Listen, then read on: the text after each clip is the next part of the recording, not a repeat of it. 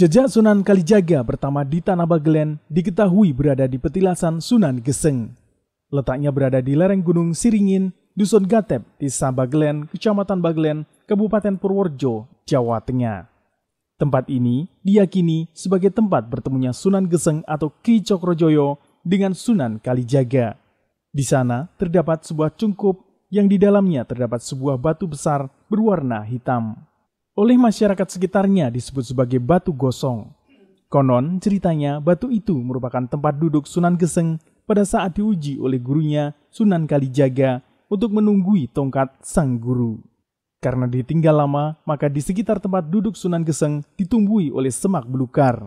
Maka untuk mencari keberadaan muridnya, Sunan Kalijaga membakar tempat tersebut hingga hangus.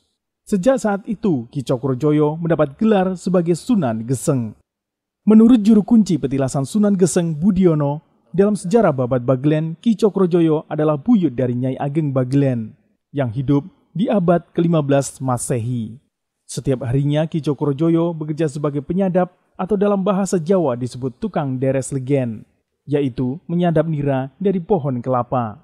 Saat menyadap nira di atas pohon kelapa, Ki Cokrojoyo selalu mendendangkan lagu Mocopat Pucung. Kluntang kluntrung. Wong deres buntute bumbung. Esok sore deres. Rino wengi nitis gendis. Gawe sajeng gawe tua kolo-kolo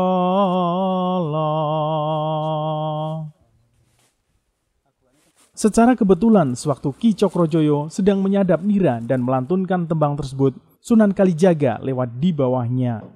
Masih menurut Budiono, lantas Sunan Kalijaga bertanya terkait dengan lagu yang sedang dinyanyikan itu.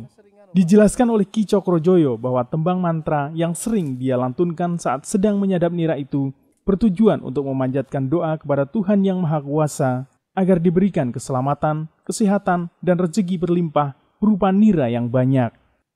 Lantas, Sunan Kalijaga menawarkan diri untuk mengajari Ki Cokrojoyo sebuah lagu yang sangat bagus dengan harapan agar Allah Subhanahu wa taala akan mengabulkan semua doa yang dipanjatkan.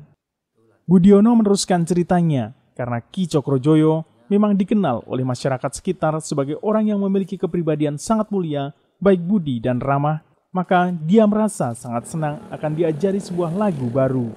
Di luar dugaan, ternyata Ki Cokrojoyo sangat cerdas dan cepat sekali menyerap apa yang diajarkan oleh Sunan Kalijaga.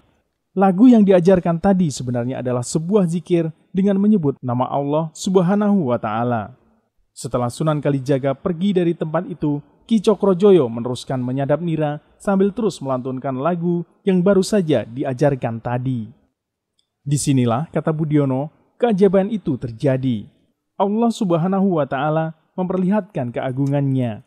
Tak disangka-sangka, nira yang keluar dari bunga kelapa bertambah banyak hingga memenuhi tempat untuk menampungnya. Tidak berhenti sampai di sini, Allah Subhanahu wa Ta'ala kembali menampakkan keagungannya. Setelah nira dicetak menjadi gula Jawa, pagi harinya saat dilihat semua berubah menjadi emas. Sejak itulah Ki Cokrojoyo lantas mencari keberadaan Sunan Kalijaga dan menyatakan diri ingin menjadi muridnya. Setelah bertemu, Sunan Kalijaga lantas menguji kemantapan dan kesetiaan Ki Cokrojoyo terhadap dirinya sebelum resmi diterima sebagai murid. Ki Cokrojoyo diperintahkan untuk menjaga dan memegangi tongkat Sunan Kalijaga. Usai itu Sunan Kalijaga pergi meninggalkan tanah Bagelen untuk siar agama Islam dan ikut menjalankan roda pemerintahan di Demak, Bintara. Uh, ini sebenarnya namanya tempat beliau Sunan Geseng waktu bertapa di sini. Ya, tempat bertapa ya. Lah ini saya sampaikan mungkin dulu dari namanya sebelum Sunan Geseng beliau adalah namanya Cokrojoyo. Cokrojoyo itu adalah putra Adipati dan beliau itu tidak mau bertempat tinggal di dalam kerajaan atau di dalam istana. Adipati mana itu pak? Uh, daerah sini pak, Baglen. Ya. Uh, beliau itu tinggalnya bersatu dengan masyarakat menyatu dengan masyarakat beliau tidak mau hidup di dalam kerajaan nah di dalam masyarakat beliau itu kesehariannya adalah tukang beres ya bikin kulit kelapa. Dan suatu ketika beliau itu dengan bersamaannya ajaran Islam masuk ke tanah Jawa khususnya di Purworejo bagian selatan ini uh, beliau itu bertemu dengan Sunan Kalijogo. Akhirnya Sunan Kalijogo itu memberikan wejangan atau uh, apa namanya uh, petuah dan memberikan doa dan dia diberikan istilahnya jalan yang benar. Nah di situ itu Sunan Kalijogo berkata, kamu kalau bekerja jangan sambil bernyanyi, tapi tolong dengan berdoa meminta kepada Allah. Nah hanya kata itulah yang disampaikan kepada Cokrojoyo oleh Sunan Kalijogo.